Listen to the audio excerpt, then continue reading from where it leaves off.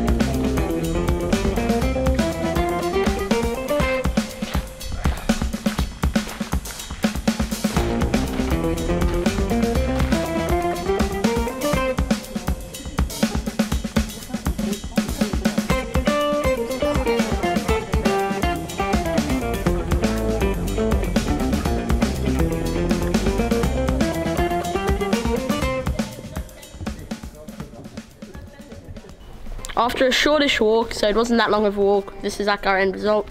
So behind me it would be a waterfall in the wet season and there's like a pool type thing. Uh, the walk is pretty good, it's pretty pretty. Um, there's like lots of trees, it's really green and you're walking inside like a valley. So it's like really shady, it's a pretty easy walk. Um, there's some sections where you need to climb over rocks and then there's like wooden stairs going up the last bit. And then you come up here, it's like a viewing platform. You can't go much further than the viewing platform. Unfortunately, there's no entry signs, so you can't explore further.